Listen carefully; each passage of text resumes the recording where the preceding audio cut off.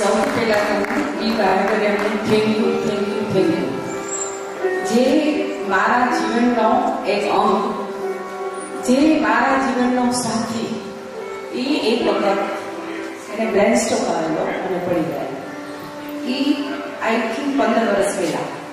ત્યારબાદ મેં જુનાગઢ રાજકોટની મુકામ હોસ્પિટલમાં મેં એડમિટ કરેલા.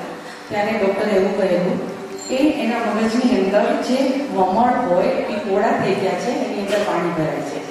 તો એની ફિઝિકલ ઉંમર હોય, એના કરતાં એની મેન્ટલી ઉંમર છે ટેન વર્ષ વધારે તમારે ગણીને તમારે સાથે વ્યવહાર કરવાનો.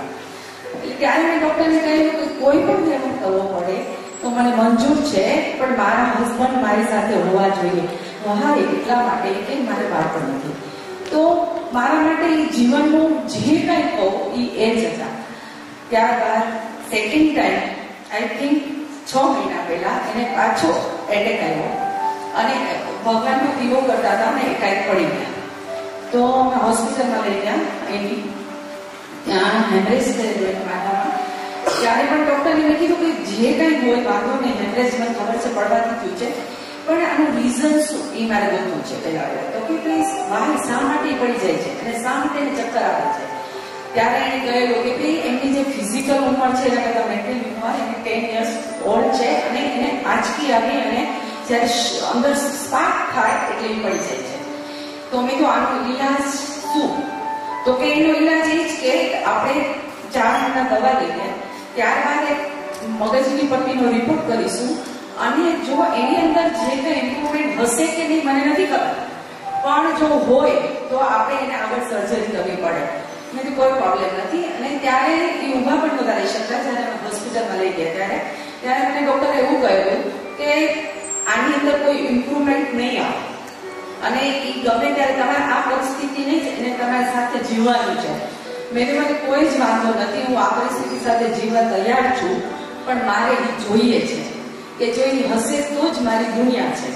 તો એક એક તમે સાથે સ્વીકારી જાણશો તમે નહીં કરી શકો? એમાં બધું હું કરી શકીશ. ત્યારબાદ હોસ્પિટલમાંથી એમને રજા આપી ત્રણ, ચાર દિવસ પછી. પણ ત્યારે પણ એ પડી જતા હું વ્હીલચેરમાં ઘરે લઈ આવી અને હું ખૂબ જ રડતી હતી, ખૂબ જ રડતી હતી કે શું થશે મારા સાથે? કારણ કે બાળકોને એટલે આપણે મોરલી સપોર્ટની પણ જરૂર પડે. એવામાં મને આમાં ફોન આવ્યો. પેલા નેહલબેનનો કે નેહલબેન કે મારે નેહલબેન તમને મળવું છે, મારે તમારું કામ છે. એને ત્યારે નહોતી ખબર કે મારે, મારા હસબન્ડને આની તબિયત ખરાબ છે.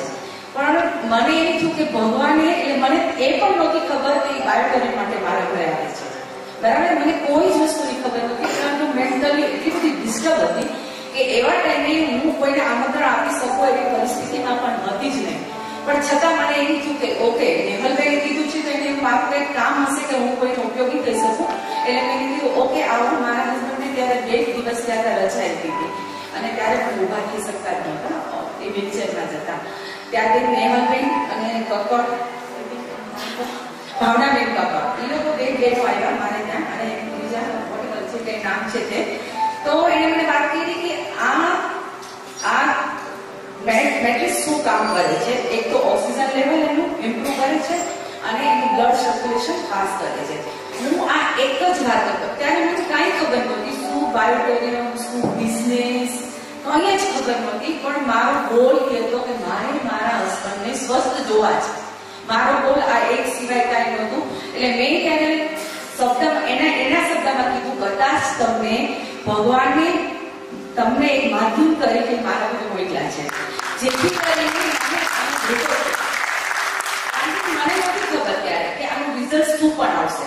ત્યારે મેં ભાવનાબેનને એવું જ કહેલું કે મેં એક લાખ રૂપિયો ખર્ચો છે, એ મારા હસબન્ડથી વધારે નથી, પણ એમાં આ થોડા વધારે. હું તમારા વિશ્વાસ કરીને મને મોકલી દો તો ભાવનાબેન કે ઓકે હીરાબેન કે એક બેલ્ટ છે, તમે અત્યારે જ બાંધી દો. એટલે એને મને ત્યારે મારા હસબન્ડને બેલ્ટ બાંધી દીધો. પછી અમને ડોક્ટર ફિઝિયોથેરાપિસ્ટ કરવા કીધું હતું. તો ડોક્ટર ફિઝિયોથેરાપિસ્ટ કરવા પણ આવતા હતા. એની આગળ મારા હસબન્ડ ચાલતા ચાલતા એના બેટ થઈ જાય. એ સર્ક્યુલેશન નહોતું થતું. મગજથી મેં લોહી નહોતું પડતું એટલે ઓટોમેટિક બેન્ડ થઈ જાય, પાછા સરખા થઈ જાય.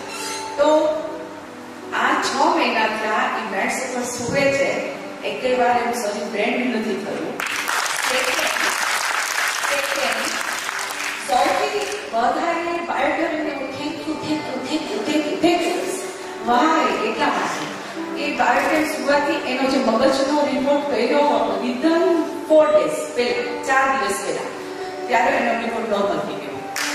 એવી વસ્તુ મારી ડોક્ટરે એવું કે મેન્ટલી ટેન યર્સ ઓલ્ડ હાલ જો એ અત્યારે મારા કરતા પણ વધારે ચુસ્ત થઈ ગયા